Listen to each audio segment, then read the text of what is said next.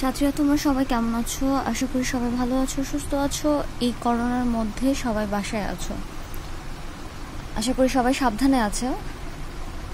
যেহেতু আমাদের অনলাইনে তোমাদের জন্য ক্লাস দেওয়া হচ্ছে, আজকে আমি তোমাদের জন্য সপ্তম শ্রেণির বাংলাদেশ ও বিশ্ব পরিচয় ক্লাসটি দিব।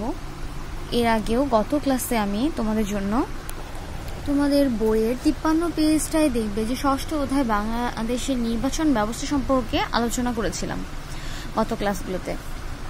আজকে তার মধ্যে বাংলাদেশের নির্বাচনের যে বিভিন্ন পর্যায়গুলো আছে, আর যে পদ্ধতি যেমন হলো এই নির্বাচনের দুই ধরনের দুই ধরনের হয়ে থাকে পদ্ধতি। একটা হলো প্রত্যক্ষ নির্বাচন, আরেকটা হলো পরোক্ষ নির্বাচন। আর এই প্রত্যক্ষ এবং পরোক্ষ নির্বাচনের মধ্যে যে পর্যায়গুলো আছে, যেমন উপজেলা পর্যায়ে, স্থানীয় পর্যায়ের মধ্যে যেমন আছে, ইউনিয়ন পরিষদ, উপজেলা পৌরসভা, জেলা সিটি কর্পোরেশন পার্বত্য জেলা মূলত এই পর্যায়গুলো গত ক্লাসে তোমাদের জন্য আলোচনা করেছিলাম। আজকে পার্ট তিন থেকে আলোচনা করব নির্বাচন কমিশন, নির্বাচিত এলাকা ও নির্বাচিত আচরণ বিধি নিয়ে। তোমাদের বইয়ের সাতান্ন পৃষ্ঠায় দেখবে পার্ট তিন আছে সেখান থেকে আজকে আলোচনা করব। এখানে নির্বাচন কমিশনটা কি? নির্বাচন কমিশন মূলত হলো যে প্রতিষ্ঠান নির্বাচন পরিচালনার দায়িত্ব নিয়োজিত থাকে। মূলত নির্বাচন যে পরিচালনার জন্য যে দায়িত্ব গ্রহণ করে থাকে, মূলত নিয়োজিত থাকে, মূলত সেই সেই প্রতিষ্ঠান থেকেই মূলত নির্বাচন কমিশন বলা হয়। বাংলাদেশেও এরকম একটি কমিশন আছে। রাষ্ট্রপতি কর্তৃক মনোনীত একজন প্রধান নির্বাচন কমিশনার ও কয়েকজন কমিশনার নিয়ে এটি গঠিত হয়। তাদের কাজের মেয়াদ, কর্মে যোগদানের দিন থেকেই পাঁচ বছর নির্ধারিত করা হয়ে থাকে। নির্বাচন কমিশনের প্রধান কাজ হল জাতীয় ও স্থানীয় পর্যায়ে বিভিন্ন নির্বাচন পরিচালনা করা। আর এ কাজটি সুষ্ঠুভাবে বাস্তবায়নের স্বার্থে নির্বাচন কমিশনকে সংশ্লিষ্ট আরও অনেক কাজ সম্পাদন করতে হয়। মূলত নির্বাচন কমিশনের যে কাজগুলো হলো, সেগুলো হলো, এক, ভোটার তালিকা প্রণয়ন এবং হালনাগাদ করা, করণ করা। দুই নম্বর হলো সকল নির্বাচন ও উপনির্বাচন পরিচালনা করা। তিন হলো নির্বাচনী প্রতীক বরাদ্দ করা। চার নির্বাচনী এলাকার সীমানা নির্ধারণ করা। পাঁচ, সারা দেশে ভোট কেন্দ্র স্থাপন করা। ছয়, নির্বাচনী আচরণবিধি তৈরি করা। সাত, ব্যালট পেপার মুদ্রণ করা। আট, ব্যালট বাক্স প্রস্তুত করা। নয়, নির্বাচনী আচরণবিধি যথাযথ প্রয়োগ করা। দশ হলো ভোট গ্রহণ এবং ফলাফল ফলাফল প্রকাশ করা। এগারো হলো নির্বাচনী বিরোধ নিষ্পত্তি করা। তাহলে নির্বাচন কমিশনের মূলত অনেকগুলো কাজ রয়েছে। এর মধ্যে সবগুলো মূলত নির্বাচনকে সঠিকভাবে পরিচালনা করার জন্য উল্লেখযোগ্য কাজ। এখন নির্বাচনী এলাকাটা কি? প্রতিনিধি এবং নির্বাচনের জন্য পুরো দেশকে কয়েকটি নির্দিষ্ট এলাকায় বিভক্ত করা হয়। আর এরও প্রতিটি নির্দিষ্ট এলাকাকে এক একটি নির্বাচনী এলাকা বলা হয়ে থাকে। বিভিন্ন ধরনের নির্বাচনের জন্য নির্বাচনী এলাকা, এলাকার সীমারেখা সীমারেখা বিভিন্ন রকম হয়। যেমন, জাতীয় সংসদ নির্বাচনে পুরো দেশে তিনশোটি নির্বাচিত, নির্বাচনী এলাকায় বিভক্ত করা হয়। একইভাবে সিটি কর্পোরেশন, উপজেলা, পৌরসভা, ইউনিয়ন পরিষদে স্ব স্ব সীমা রেখে রেখাকে আলাদা আলাদা নির্বাচিত, নির্বাচনী এলাকা হিসেবে ধরা হয়ে থাকে। নির্বাচন কমিশন নির্বাচনী এলাকার নির্ধারণ করে থাকে। এক এলাকার ভোটার অন্য এলাকায় ভোট দিতে পারে না। মূলত যে নির্বাচন নির্বাচনটা মূলত নির্দিষ্ট এলাকা কেন্দ্রিক হয়ে থাকে। সেক্ষেত্রে দেখা গিয়েছে যে এক এলাকার প্রার্থী অন্য এলাকায়, এক এলাকার যে ভোটার, তিনি অন্য এলাকায় গিয়ে ভোট দিতে পারবেন না।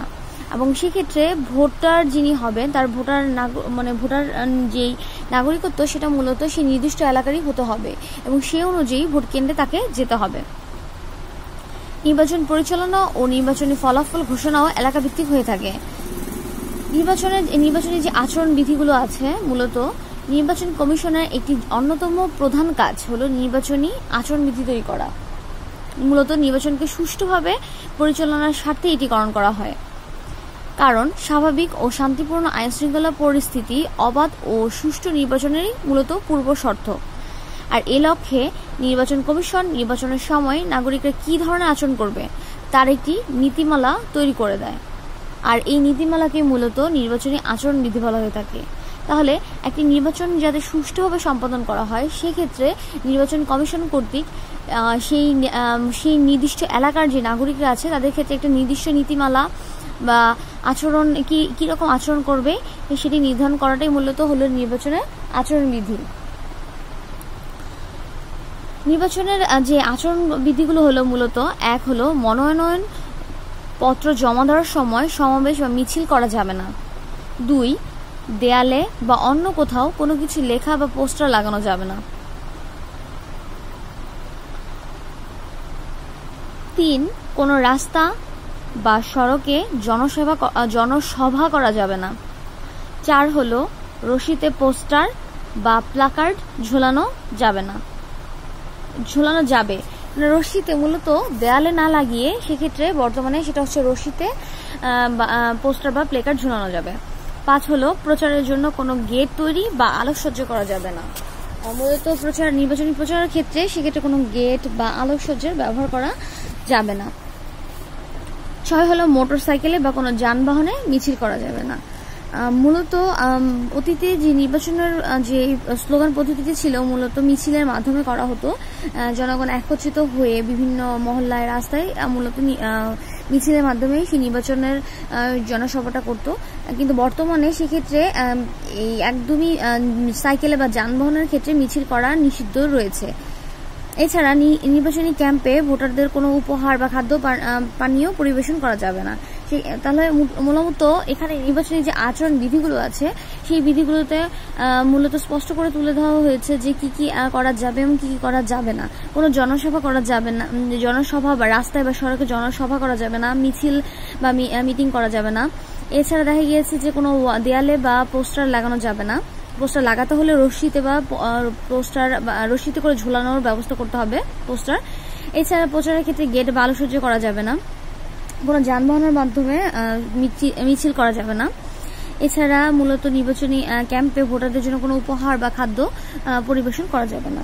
তাহলে এইখানে মূলত নির্বাচনের যে বিভিন্ন আচরণ বিধি, নির্বাচন কমিশন এবং বিভিন্ন এলাকা এবং আচরণ বিধি সম্পর্কে তোমরা এই পাঠটিতে সবাই ভালো মতো জানলে। আশা করি পাঠটি তোমরা সবাই বাসায় পড়বে। আজকের মতো পাঠ সমাপ্তি এখানেই। পরবর্তী ক্লাসে পরবর্তী পাঠ নিয়ে আলোচনা করব। সবাই ভালো থাকবে, সুস্থ থাকবে। ধন্যবাদ সবাইকে।